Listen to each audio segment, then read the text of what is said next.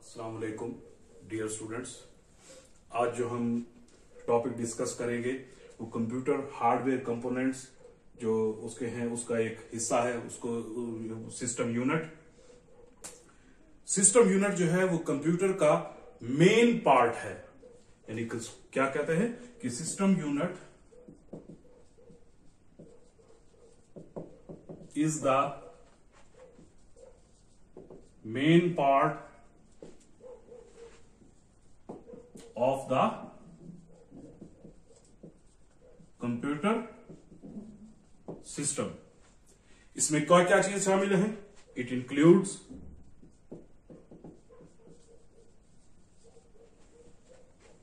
motherboard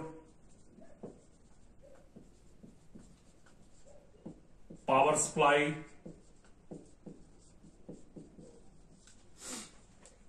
drive जैसा कि DVD digital versatile disc and hard disk are the main components of computer casing यानी system unit जो है, वो कंप्यूटर सिस्टम का वो अहम हिस्सा है, जिसके अंदर कौन कौन से जो है पार्ट्स उसके अंदर कौन कौन से डिवाइसेस या कौन कौन से बोर्ड्स वगैरह लगे हुए हैं। उसके अंदर मदरबोर्ड है पावर सप्लाई है ड्राइव्स हैं आपकी, जिस तरह डीवीडी है हार्ड डिस्क वगैरह हो गई, ये सारी उस कंप्यूटर केसिंग के अंदर जो है वो लगी होती है। इसके अलावा आपके तमाम जो इनपुट आउटपुट डिवाइसेस हैं वो भी इस सिस्टम यूनिट के साथ कनेक्टेड होते हैं through different ports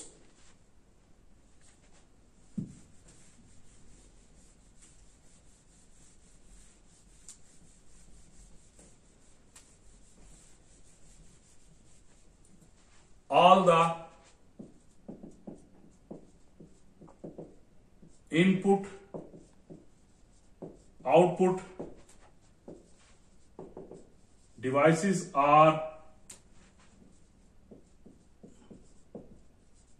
connected to the system unit through ports. यानी जितने भी कीबोर्ड है माउस है प्रिंटर्स वगैरह स्कैनर्स वगैरह, जितने भी इनपुट आउटपुट आपके डिवाइसेस है वो सारे जो है, वो इस सिस्टम यूनिट के सिस्टम यूनिट के साथ कनेक्टेड होते हैं थ्रू डिफरेंट पोर्ट्स के ज़रिए। और दूसरा, एक लेमैन एक आम आदमी की जबान में जो है, इसको टावर केसिंग भी कहते हैं और कंप्यूटर केसिंग भी कहते हैं। यानी इसके और भी नाम है। टावर केसिंग या फिर आप इसको क्या कहते हैं? कंप्यूटर केसिंग इसके अंदर जो सबसे इंपॉर्टेंट इसका पार्ट है, उसको भी हम अब जो है उसको डिस्कस करेंगे।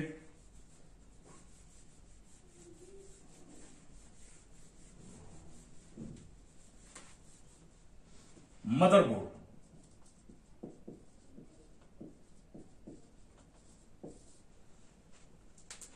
मदरबोर्ड सिस्टम यूनिट का सबसे मेन सर्किट है, जो इसके अंदर सिस्टम यूनिट के अंदर लगा होता है, यानी इसको आप कह सकते हैं कि motherboard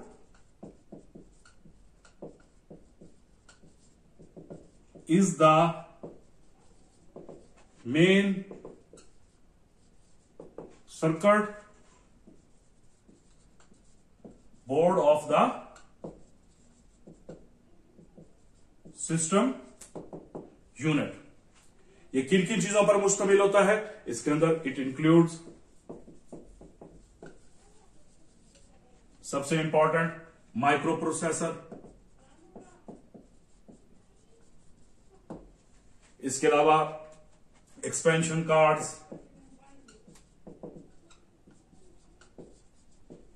इसके अलावा आईसी चिप्स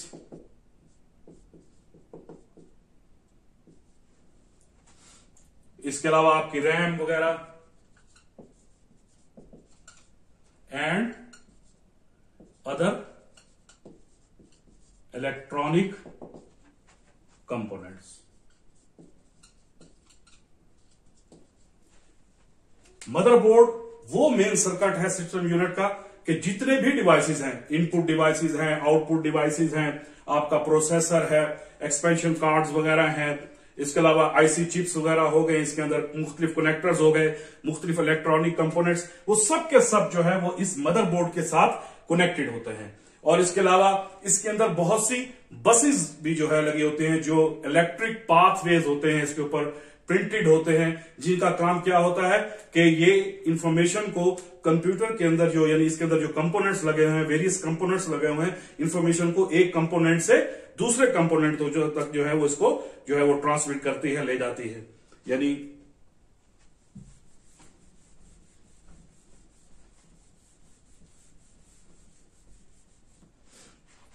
इसके अंदर बसेस होती बसेस क्या है? इलेक्ट्रिक पाथवेज हैं, जो क्या होते हैं? प्रिंटेड ऑन द बोर्ड इन बसेस का काम क्या है? कि इंफॉर्मेशन जो है buses transmit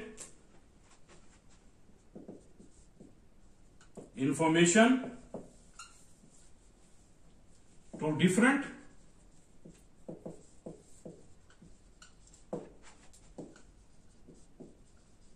components of the computer system unit भी कह सकते हैं कंप्यूटर भी कह सकते हैं।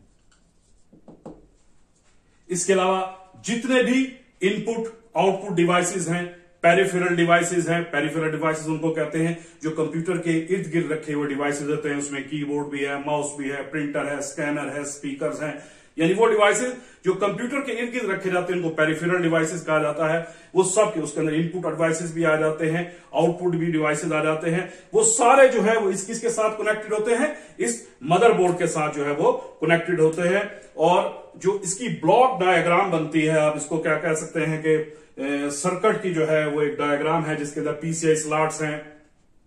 रैम्स की स्लॉट्स बनी हुई होती हैं इसके अंदर, एक माइक्रो प्रोसेसर का सॉकेट होता है इसके अंदर, और इसके अलावा जो इनपुट आप आउटपुट डिवाइसेस कीबोर्ड माउस वगैरह लगाते हैं, उनकी अलग पोर्ट्स उसके अंदर बनी हुई होती हैं, जो आप स्पीकर वगैरह कनेक्ट करते हैं, उनकी अलग से पोर्ट्स इसके अंदर बनी हुई होती हैं। अगर आप कोई जो है एक्सपेंशन कार्ड जिस तरह साउंड कार्ड हो गया, आपके वीडियो कार्ड्स हो गए जो उसको वीडियो को एनहांस करने के लिए साउंड को एनहांस करने के लिए, वो बिल्डिंग भी इसके ऊपर आपके मदरबोर्ड के ऊपर मौजूद होते हैं। और नहीं तो आप जो है वो अलग से भी जो इन एक्सपेंशन कार्ड को, जिनको एक्सपेंशन कार्ड कहा जाता है, इनके अंदर पीसीआई स्लॉट्स में लगाकर आप उसके कंप्यूटर की जो उसकी एबिलिटी है, उसको एनहांस कर सकते हैं।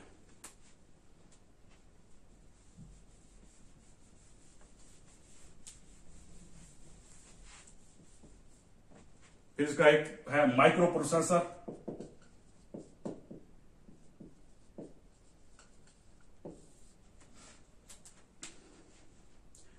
माइक्रो प्रोसेसर जो है, वो एक मेन चिप है मदरबोर्ड के ऊपर, जो क्या काम करती है कि जितनी भी कंप्यूटर के अंदर एक्टिविटीज़ हो रही होती हैं, जो कंप्यूटर के अंदर, उनको वो कंट्रोल करता है। इसलिए इसको ब्रेन ऑफ़ द कंप्यूटर भी कहा जाता है। तो क्या कहेंगे? It is the main chip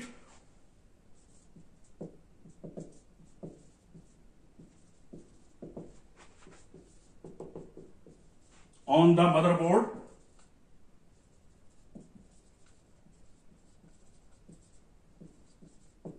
Which control all the activities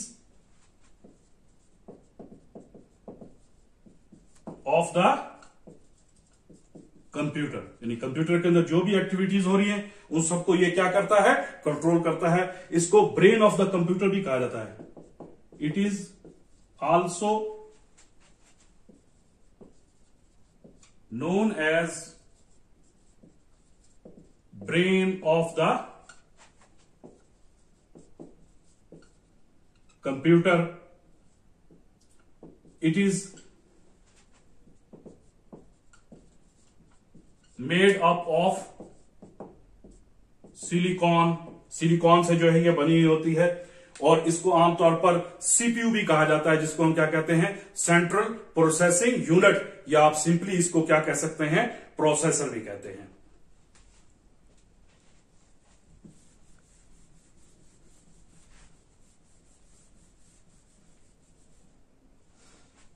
यानी सीपीयू सेंट्रल प्रोसेसिंग यूनिट या और सिंपली प्रोसेसर।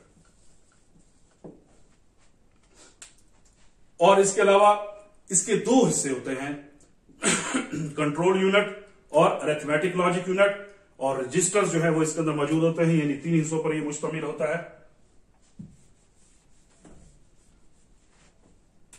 एक को हम कहते हैं A L U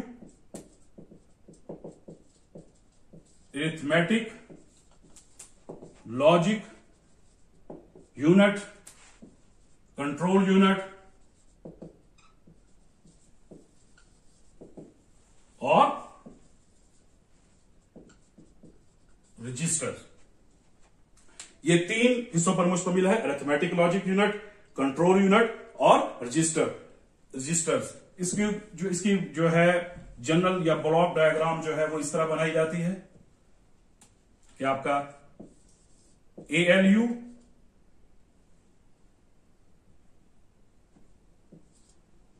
ये आपका कंट्रोल यूनिट ये आपके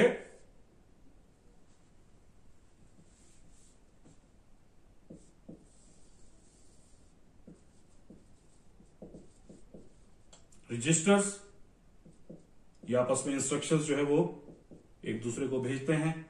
ये इसकी ब्लॉक डायग्राम है माइक्रो प्रोसेसर की।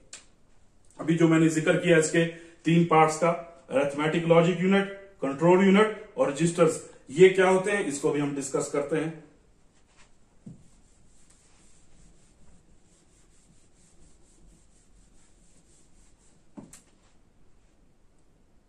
सबसे पहले है A L U arithmetic logic unit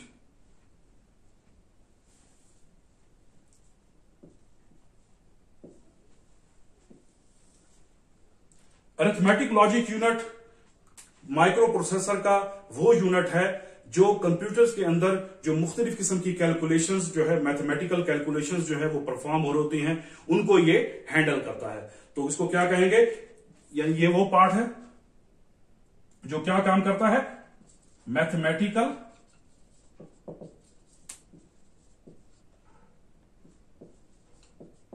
calculations and कंपेरियंस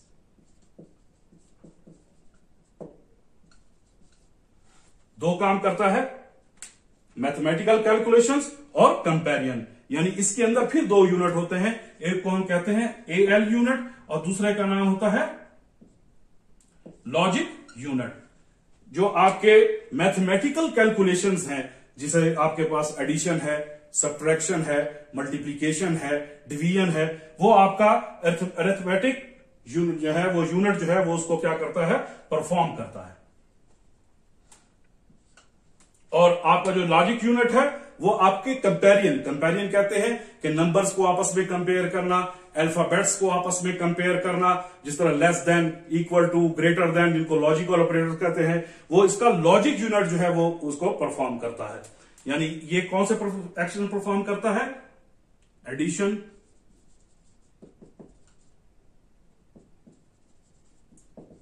subtraction multiplication and division जबकि आपका ये यूनिट जो है, वो क्या करता है? कंपेरियन करता है between numbers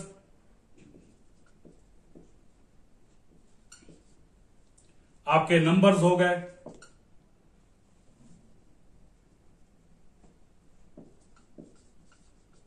and alphabets letters वगैरह, जैसे आप मैथमेटिक्स में पढ़ते हैं less than equal to and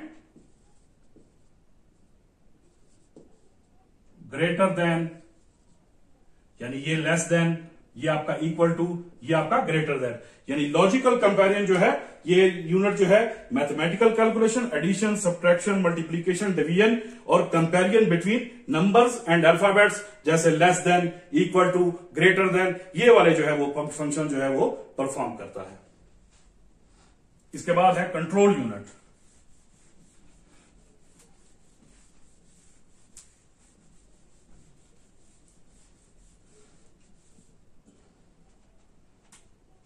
C U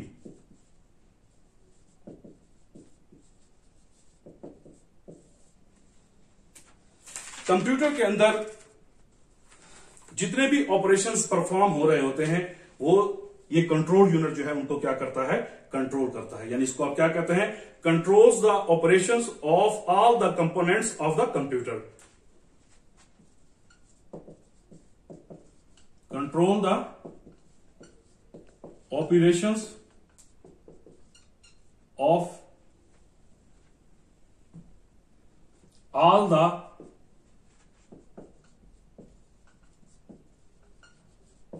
components of the computer यानी कंप्यूटर के अंदर जितनी भी एक्टिविटीज़ हो रही हैं, जितने भी ऑपरेशंस हो रहे हैं, उनको ये कंट्रोल यूनिट जो है, उनको कंट्रोल करता है। इसके अलावा जितने भी इसके अंदर इनपुट आउटपुट डिवाइसेस हैं, उनके अंदर भी जितने भी ऑपरेशंस परफॉर्म हो रहे हैं, उनको भी कंट्रोल यूनिट जो है वो उसको क्या करता है? कंट्रोल करता है। और अरेथमेटिक लॉजिक यूनिट के अंदर भी।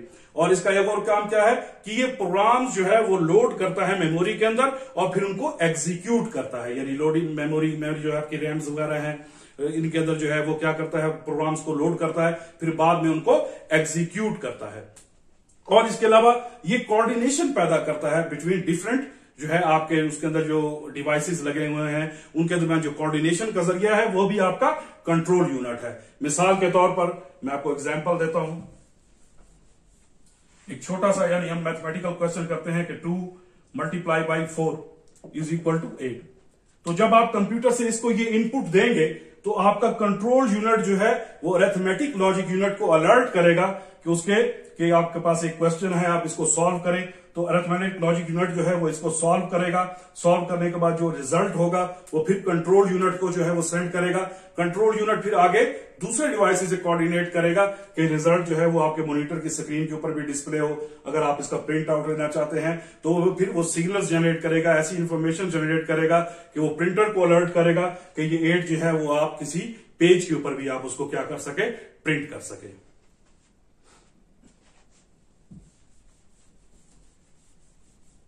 रजिस्टर्स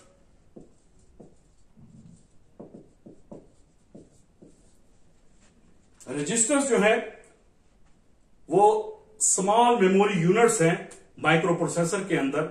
क्या कहते हैं इसको? स्मॉल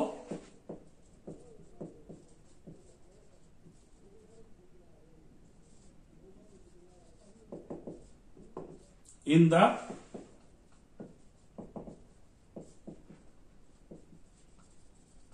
प्रोसेसर यानी जो क्या काम करते हैं?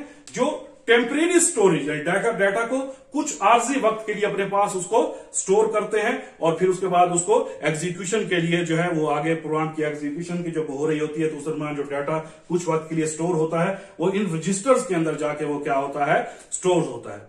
इसके अलावा आप इसको ये भी कह सकते हैं कि रजिस्टर्स ऐसा ग्रुप ऑफ़ सेल्स है जो किस काम, किस क्या काम का, क्या काम करता है कि मेमोरी एड्रेसिंग के लिए आप उसको इस्तेमाल करते हैं डाटा मैनिपुलेशन के लिए उसको इस्तेमाल करते हैं डाटा प्रोसेसिंग के लिए उसको इस्तेमाल करते हैं। यानी अगर आप कोई उसको इंस्ट्रक्शन देते हैं तो ये आप रजिस्टर जो है, उस इंस्ट्रक्शन को कुछ वक्त के लिए अपने पास स्टोर रखेंगे। उसके बाद जैसे आउटपुट उसको आउटपुट के लिए आगे जाएँगे तो रजिस्टर ये क्या हो जाते हैं? एमपीटी हो जाते हैं। और नेक्स्ट इंस्ट्रक्शंस के लिए जो है, वो अपने आप को क्या करते हैं? तैयार कर लेते हैं। जब वो इंस्ट्रक्शन इंस्ट्रक्शन भी परफॉर्म एग्जीक्यूट हो जाती है तो फिर जो नेक्स्ट दूसरी आने वाली इंस्ट्रक्शन है, उसके लिए अपनी जगह को वो क्या कर देते हैं? खाली कर देते हैं। बहुत से रजिस्टर इसके अंदर इस्तेमाल होते हैं। उनको मुख्तलिफ़ नाम है इसका instruction register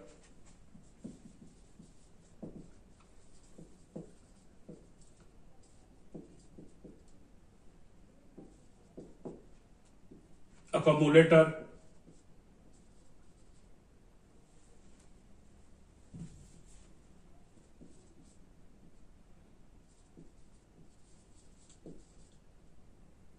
Monitor registers memory address registers program counters इसके अलावा भी बहुत से जो है वो रजिस्टर इसके अंदर जो है, वो क्या किए जाते हैं? यूज़ किए जाते हैं